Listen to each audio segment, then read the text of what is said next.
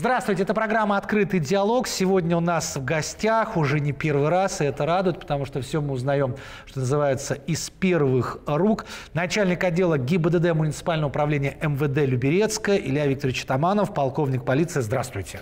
Добрый день. Вот. За то время, которое прошло, мы, слава богу, выбрались из пандемии. Вроде бы уже с трудом, но лето приближается, а, потому что зима – это, наверное, для дорожного движения одна история, весна вторая, а лето это третья. И сегодня мы, как всегда, поговорим э, с Ильей Викторовичем о тех глобальных проблемах, которые стоят и которые, ну, вы же э, оперируете фактами, прежде всего, то, что у вас происходит. Фактами и цифрами. Да. А вот во второй части мы больше поговорим то, что всегда тоже нравится поклонникам дорожного движения, назовем это так, какие изменения, может кто-то что-то упустил, может кто-то чего-то не знает, и в этом все, все вы поможете. Да. Но начнем мы, как всегда, с самого, наверное, неприятного момента, это дорожно-транспортные происшествия. Насколько сейчас ситуация усложнилась или улучшилась? Николай Александрович, я с нетерпением ждал этой встречи, потому что э, действительно я Э, так получается, что какие-то и мои планы э, донести информацию совпадают с какими-то ситуациями, э, как правило, обострением в, дорожных, в, дорожной, в дорожной статистике на текущий момент. И сегодня я могу сказать, что на сегодняшний день на территории обслуживания Либерецкого отдела ГИБДД 6 происшествий с детьми. Угу. Слава богу, ни одного погибшего. И, в общем-то, нет сильно тяжелых детишек. Но э, создается характерная ситуация, которая э, меня заставила прийти сюда и постараться довести в первую очередь до родителей, угу. Потому что э, понятно, что дети, э, они прислушиваются и к мнению родителей, и, может быть, увидят наш эфир, тоже сделают для себя правильные выводы. Так вот, э, из этих шести случаев, четыре случая – это когда ребенок не виноват.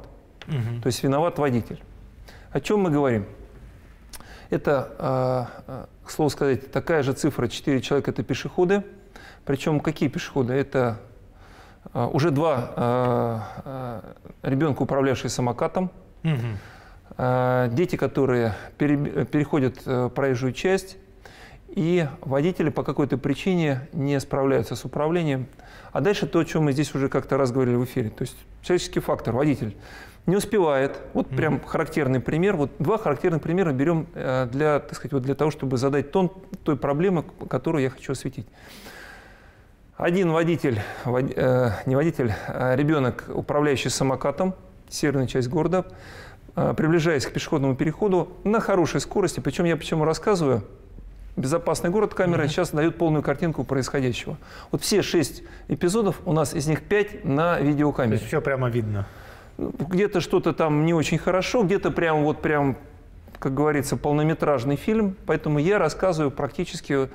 Я почему еще раз э, так вот акцентирую? Вы знаете, мы насмотрелись по РЕН-ТВ, ну, вот, вот это, там, водить да. по-русски, да, и мы вроде думаем, что это где-то.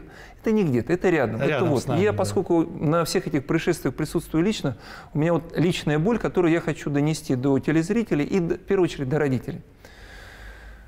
Конечно, если водитель подъезжает, он, водитель едет с нормальной скоростью, с предположением, что он может затормозить. Если ребенок на большой скорости, не, не э, останавливаясь, не спешиваясь, что, в принципе, не, это по правилам дорожного движения, э, нас, у нас нигде не написано, у нас э, в велосипеде надо спешиваться, да. но скорость современных самокатов – том числе электрических, которые как раз... Поболее, чем на велосипеде. Да. Она, да, может поспорить с велосипедной. И вот он на этом самокате сходу хорошо так и как раз водитель не успевает, происходит происшествие, э, наезд на ребенка. Это раз. Второе. Ну, можно сказать, что э, и водитель не виноват, э, девушка с достаточным опытом, и э, молод, э, юноша, да, юноша 12 лет не виноват. Э, потому что выезжали, это пересечение, такая стандартная тоже ситуация, пересечение тротуара с дорогой, которая выезжает с внутридворовой территории угу. на основную трассу. Угу. По правилам дорожного движения водитель должен э, при в месте пересечения тротуара с, с проезжей частью в этом месте должен пропустить пешехода. Для этого не нужен пешеходный переход, какие-то специальные как знаки. Ну да, да обязательно. Правила, да, правила дорожного движения водителя обязывают пропустить э, пешехода, двигающегося именно по тротуарной дорожке. Но он появился внезапно. Стояла машина Да. большая, ну как большая, газель, э, Закрывала. кунг, да, она полностью и одному, и второму участнику дорожного движения перекрывала э, обзорность. Ага. Но, опять же, если бы ребенок, э, если бы его родители сказали, вот там, сынок, ты подъезжаешь, ты должен смотреть, ты должен видеть, вот как там говорят гонщики, ты должен иметь широкий да, Да. охват зрения, ты должен просчитывать ситуацию, ты должен понимать, что если ты приближаешься к дороге, ты должен ожидать, что по ней ездят машины. А он молодец, он хорошо разогнался за сестренкой, они ехали в бассейн, Ну да, свои они дела, молодцы, свои дела, да, это конечно, такой да. вот положительный, положительный парень, э, вообще такой хорошая, хорошая семья, а, там в школе там хорошо характеризуется. Абсолютное стечение обстоятельств, которое, в принципе, я за ребенка сказал то же самое. Водитель должен понимать, водитель, находясь в жилой зоне, он должен просчитывать эти все варианты. О чем я здесь хочу сказать? А, На что обратить внимание? То есть мы сейчас подходим к периоду проведения э, начала каникул. Мгм. Соответственно, государственная инспекция управления образования а, у нас э, начинается э, мероприятие под названием «Внимание, дети». Оно будет длиться до 19 июня, ну, практически до середины, до середины лета. Что входит в это мероприятие? Как раз освежить, э, освежить э, эти э, навыки э, нахождения вне школы на проезжей части. Второе. А, Сейчас у нас будет первый месяц, почему как раз конец июня, первый месяц это детские лагеря. Там Да. специально будет проведена работа. То есть со школами тоже проработана определенная программа, есть понимание, как это все будет происходить. А, Опять же, большой расчет и большое, большая надежда на то, что родители перед началом каникул должны с детьми, первое, самое главное, они должны личным примером показывать, как это должно быть. Во-вторых, они должны все это сесть и освежить. Там, сынок, доченька. Я просто рассказываю с позиции отца. У меня э, один уже в институте, вторая вот школа, школа заканчивается. Я понимаю, и всё как равно это надо рассказывать, Как это надо работать. Да. Причем э, детский этот э, нигилизм, он, он, конечно, вот он, он работает и никогда не было. Я все знаю, все знаю, хорошо. Поменяемся местами. Расскажи мне, Да-да-да. да, А я как будто бы не знаю. да, а я не знаю, давай вот сделаем наоборот. И вот, ну, психологические приемы, то есть каждый родитель должен знать ключик, но он этот э, перезапуск этого файла, Надо сделать. понимание должен быть. Да, конечно, дети заигрываются, дети о своем думают, но если это хоть как-то э, позволит э, освежить в памяти и позволит при- этот, предвосхитить вот эту ситуацию трагическую, надо это сделать. Как говорится, даже как э, просто по-человечески, просто даже для очистки совести.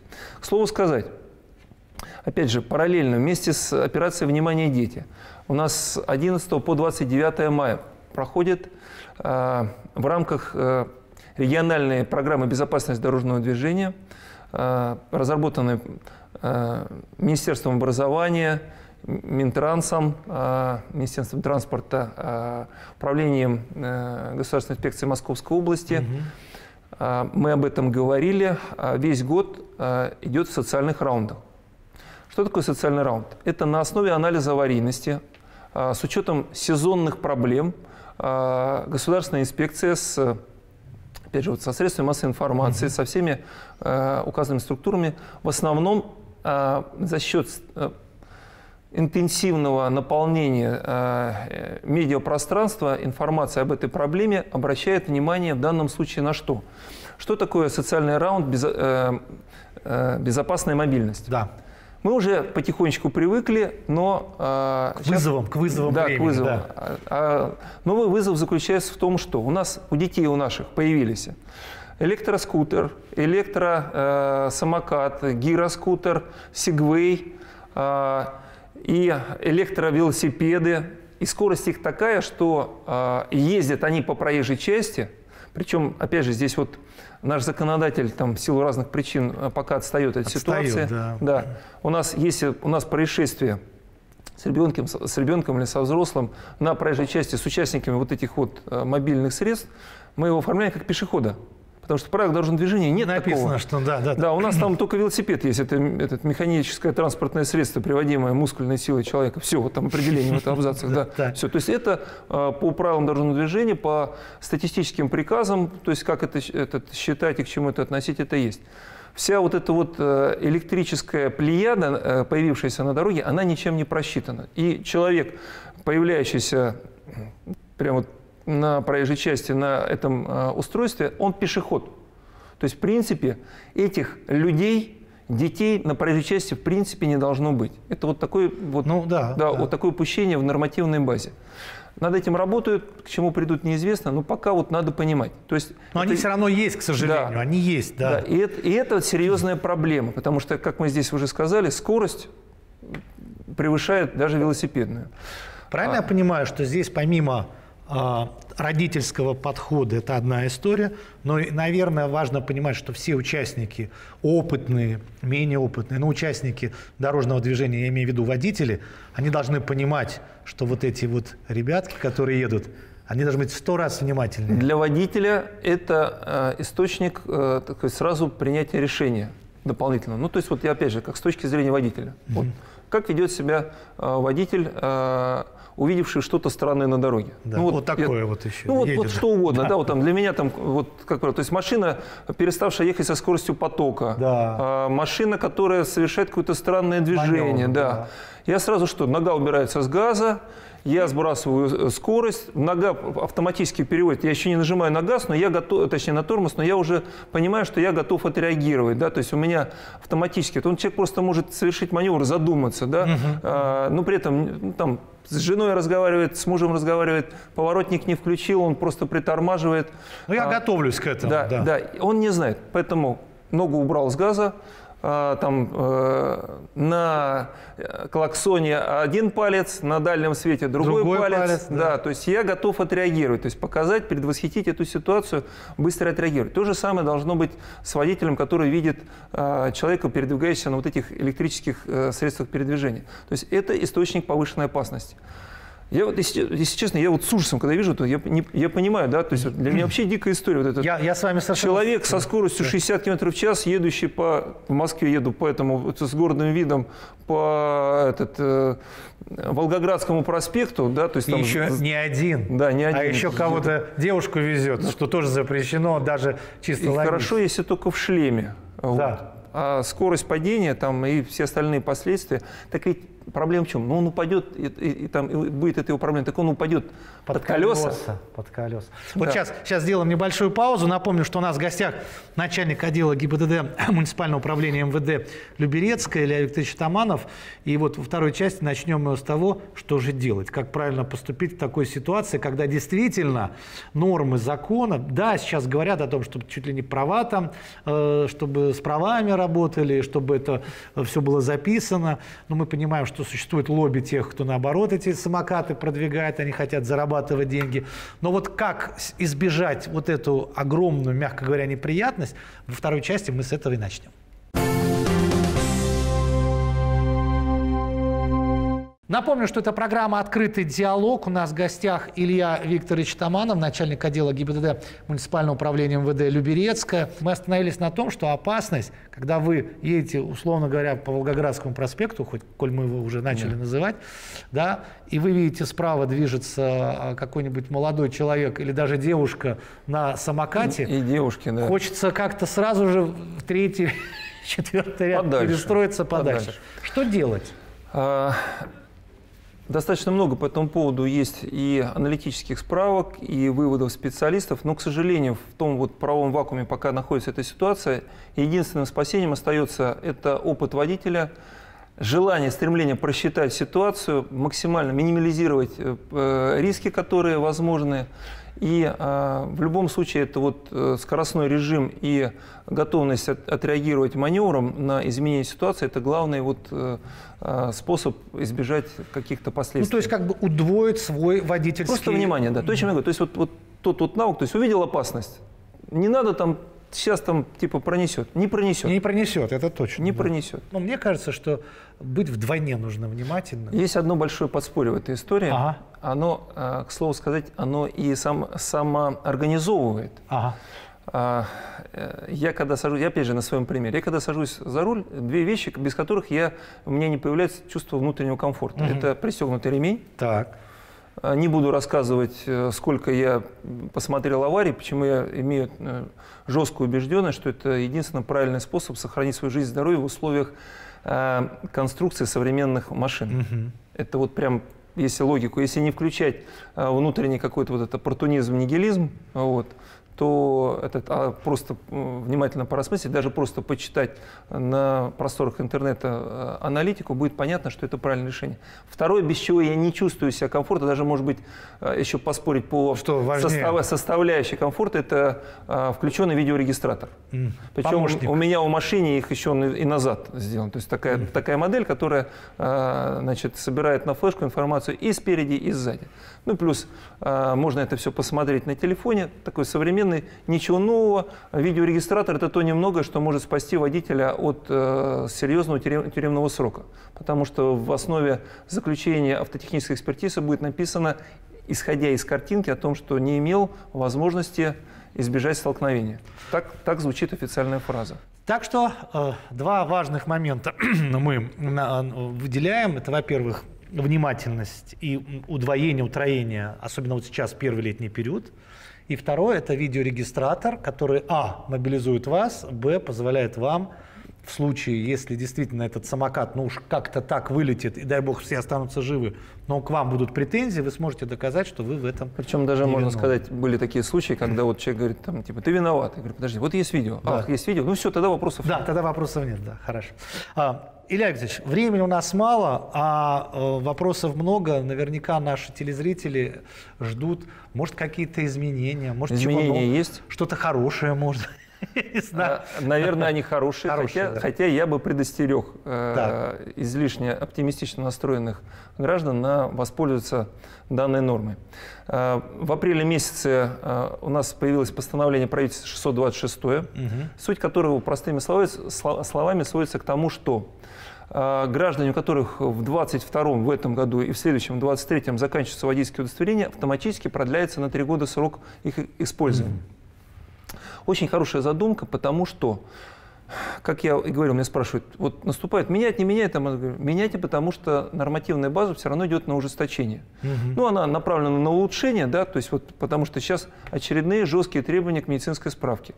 А, отчасти это была причина принятия этого решения, а, потому что а, пока медицинские учреждения в том объеме и, и качественно предоставить э, медицинскую справку водительскую установленного образца не в состоянии, это создаст ажиотаж. Мы уже помним, были да, у нас там такие, да, там, такие бунты, вот, столкновения с медициной и всякие э, по этому поводу трактования исполнительной власти, это одна из причин.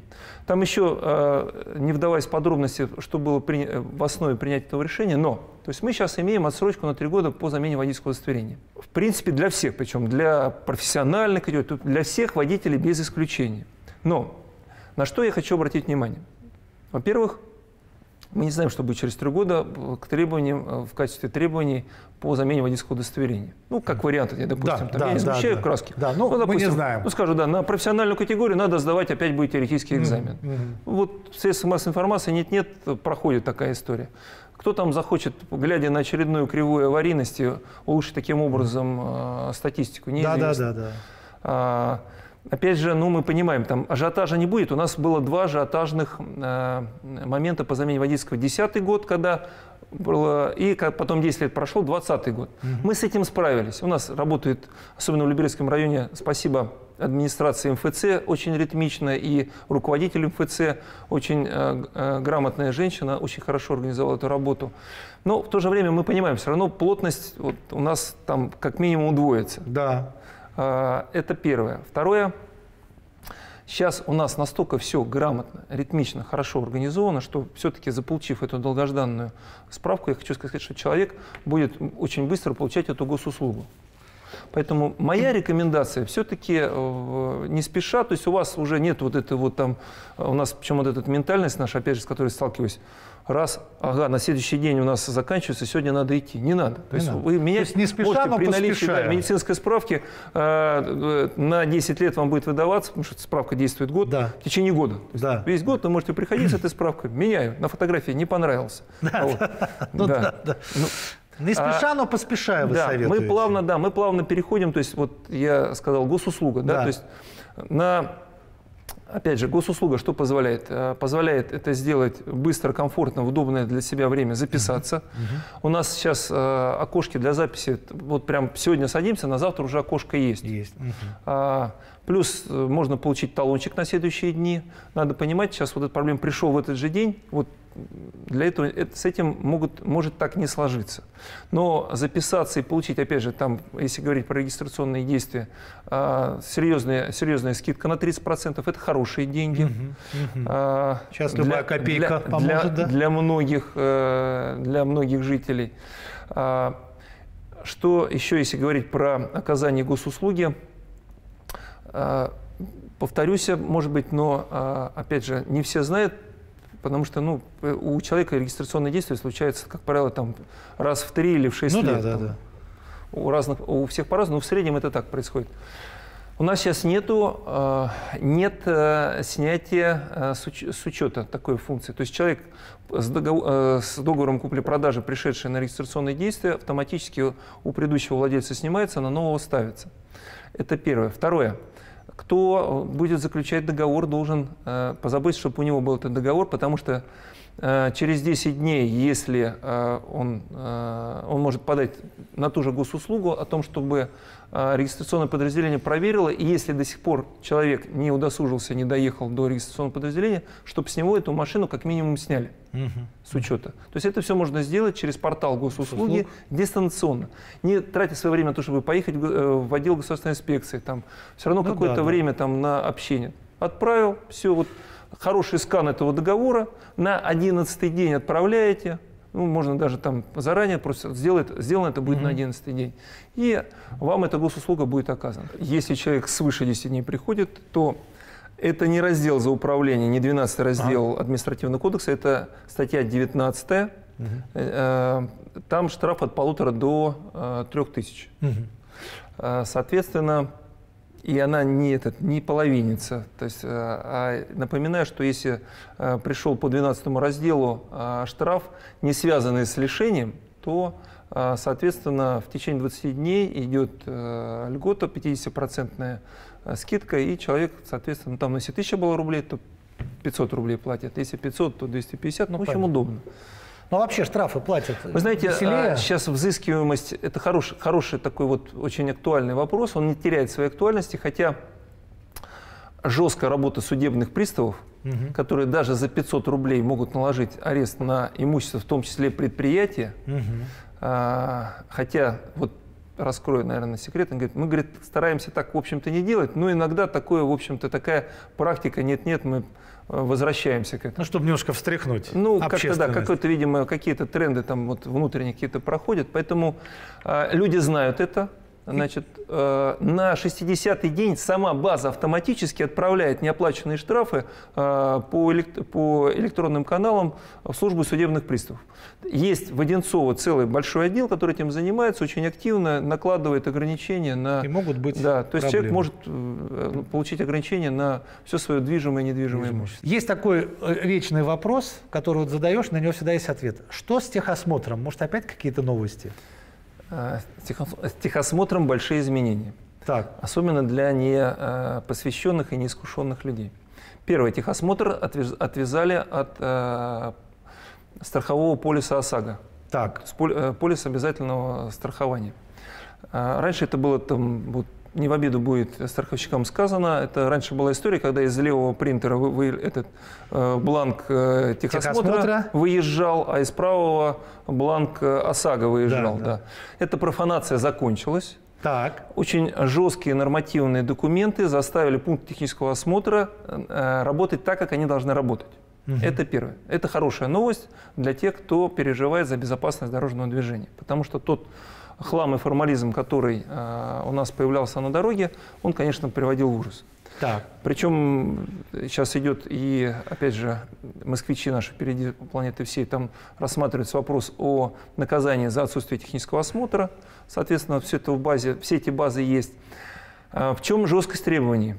Фотография, то есть реально те требования, которые э, предъявляются к транспортному средству по допуску его как, э, к участию дорожного движения, э, пунктами технического осмотра э, активно отрабатываются и даже больше скажу, то есть те штрафные э, санкции и лишение их лицензии на эту деятельность заставляют их действительно быть в этой части безукоризненными. Ну, то есть речь идет о ТО для людей, Техосмотр, которые, да. которые Техосмотр. работают, не для вот. простого а теперь, вот да, этого вот мы, человека. Теперь да, теперь мы подходим к самой теме техосмотра. Ага. Техосмотр а, стал добровольным. То есть вы, вот, чтобы продиагностировать свою машину, вы можете воспользоваться этой нормой, получить диагностическую карту и ее иметь. Обязательно он в случае регистрационных действий, связанных с постановкой транспортного средства на машину старше 4 лет. Мгм. Таких достаточно много. На, э, опять же, если в машину вносятся какие-то изменения, ну, это газбаллонное Да, да, оборудование, да. там вот такие вот, это самые стандартные, я говорю. Кто занимается из- это, внесением изменений в конструкцию транспортных средств, понимает, о чем я говорю. И э, еще один момент. Для э, коммерческого транспорта там периодичность э, достаточно жесткая. Там, я говорю про бензовозы, а, маршрутные транспортные средства, такси. А, Так вот, э, там, соответственно, периодичность э, Более от жесткая. полугода до года. Понятно. Ну, посмотрим, как это работает. Может, потом, потом опять будут изменения. Да. Всегда можно спросить. Да. Ну что, э, Илья Викторович, вопросов много, а время закончилось. Поэтому я хочу, первое, э, поблагодарить вас, еще раз обратить внимание всех наших телезрителей, что мы вступаем в летнюю пору, да, такую для, и для вас, как для э, работников э, дорожной э, ну, ГИБДД сложную, да, потому что с одной стороны людей будет больше на дорогах, и опять же немножечко будет такое летнее расслабленное состояние. С другой стороны, ко- конечно, касается и нас, водителей, которые должны еще в, ну, в два раза да, у- у- ускориться в понимании того, что происходит на дороге. Обратите внимание еще раз на те э, особые программы, которые сейчас работают, это «Внимание, дети», то есть э, пристальность инспек- инспекторов ГИБДД будет серьезнее, и э, социальный раунд «Безопасная мобильность». Вот, внимание, обратите на все, все движущееся вокруг вас, это особая история. Ну и, конечно же, то, что вот вы увидели и услышали по замене водительского удостоверения, лучше все-таки это сделать побыстрее, чтобы снять с себя какие-то проблемы. Госуслуги работают, штрафы нужно платить, и видеорегистраторы нужно ставить. Вроде бы я все подрезюмировал. Спасибо большое. Спасибо вам большое, успехов вам, вашим коллегам, хорошего нам всем лета, чтобы осенью у нас были отличные результаты. Это была программа «Открытый диалог». С вами Николай Пивненко. До свидания.